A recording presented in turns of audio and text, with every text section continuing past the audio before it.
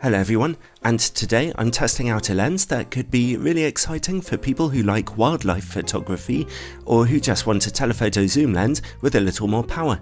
I'm testing out the new Sigma 100 to 400mm f5 to 6.3 DG-OS HSM-C. It's for full frame or APS-C digital SLR cameras or mirrorless cameras if you use an adapter and it's available in the UK for only £800 or in the US for only $750. Another sad example of inflated pricing in the UK, but either way it's actually really good value for money, potentially. Clearly, Sigma are seeking to undercut the competition from Canon, Nikon and Sony, whose current 100-400mm lenses are far more expensive. On a full frame camera, if you're seriously interested in wildlife photography, then 400mm is about the minimum you'll need in a telephoto lens, in my opinion anyway. Here you can see that zoom range from 100 to 400mm. If you use an APS-C camera, then the crop factor will give you the full frame equivalent of 640mm on Canon cameras. That's fantastic. So they are popular lenses. The payoff with this less expensive Sigma device is that you get a very narrow maximum aperture.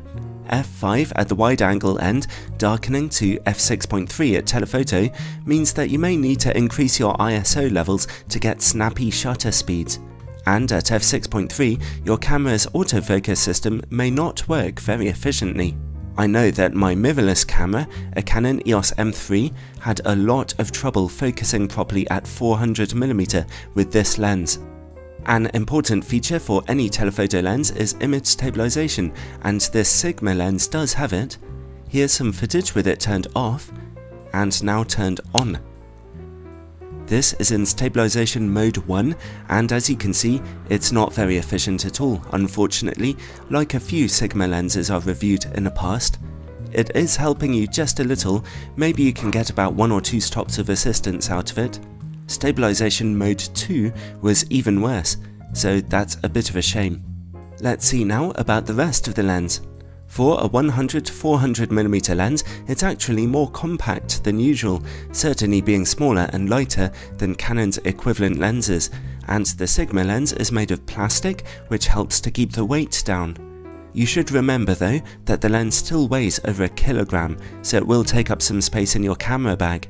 The filter thread size is 67mm. It's also compatible with Sigma's 1.4x and 2x converters. The body of the lens is based on a metal lens mount with a weather sealing gasket around the edge to help keep dust and moisture out. It offers the usual controls on the side for autofocus range and image stabilization.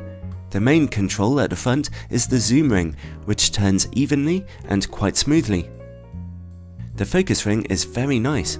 It turns smoothly and precisely, and you can adjust focus at any time, even in autofocus mode so that was helpful when the autofocus didn't work properly on my mirrorless camera.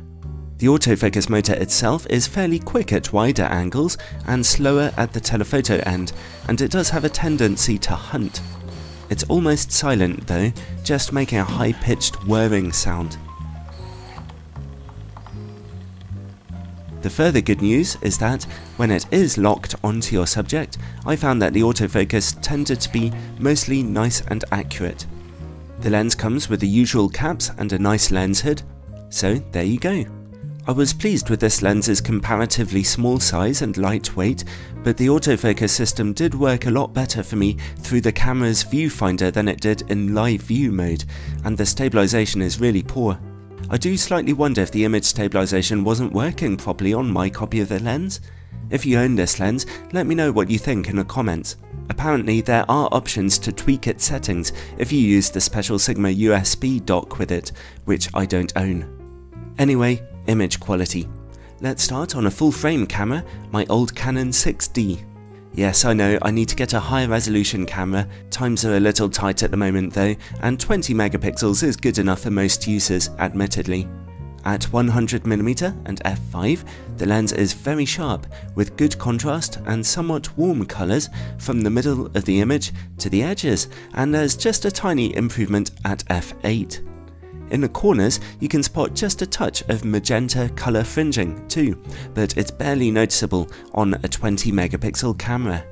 Let's zoom in now to about 250mm. Here, the maximum aperture is now f6.3, so it's darkened quickly. In the middle of the image, we see quite good sharpness, although not quite as biting as at 100mm. The corners though remain very good. Again, there's just the tiniest improvements if you stop down to f8. There seems to be no chromatic aberration at 250mm though. And finally, 400mm.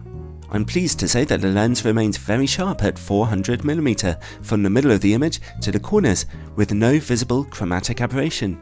Great. There's no improvement as you stop down the lens though, you should shoot at f6.3 here if you can. So I'm really impressed with the Sigma lens's image quality. On my Canon 6D it was very sharp across the entire image frame and the zoom range with no real problems at all. Well, let's push the lens a bit harder and see how it works on an APS-C camera. In this case, I've adapted it onto my Canon EOS M3 with its demanding 24 megapixel APS-C sensor. At 100mm and f5, sharpness is very good in the middle of the image, although just a tiny bit of colour fringing is visible on contrasting edges. The corners of the image are also quite sharp, although chromatic aberration is a little more visible there. Stop down to f8 for a tiny improvement. Let's see about 250mm. With the aperture wide open at f6.3, the lens remains nicely sharp, although not bitingly so. The corners, impressively, are the same, but if you stop down to f8, an improvement is quite visible. And finally, 400mm. At f6.3, the lens is just a tiny bit soft in the middle, and contrast is a tiny bit low, but it's still good enough quality. The corners are a little softer, but not much colour fringing is visible. Stop down to f8 and image quality is just a little better. So, on an APS-C camera, the lens seems to be happy enough. It's consistently sharp, but not quite as impressive as more expensive options like the new Canon 100-400mm L Mark II lens. It's a lot sharper than Canon's old Mark I model though, making that older L lens kind of redundant now, in my opinion. Alright then, let's see about vignetting and distortion on a full frame camera. At 100mm we see just a little pincushion distortion, and at f5 some gentle vignetting in the corners. Stop down to f8 and that darkness goes away. The pincushion distortion remains throughout the zoom range, getting a little more prominent at 400mm. However, vignetting remains quite minimal. Again, stop down to f8 for brighter corners. Now onto close-up image quality. The lens can focus as closely as 1.6 meters. That's a bit further than average for a 100 400mm lens, but you can still get quite close to your subject. The good news is that, even at close distances, sharpness remains very good.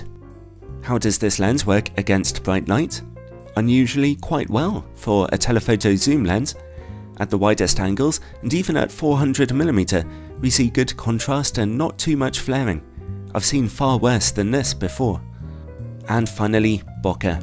Even considering this lens's narrow maximum aperture, at 400mm you can get some very out of focus backgrounds. The quality of the bokeh in those backgrounds is really soft and pleasing in just about every situation, which is great to see. It doesn't make a bad portrait lens, actually, if you don't mind being far away from your subject and shouting your instructions at them.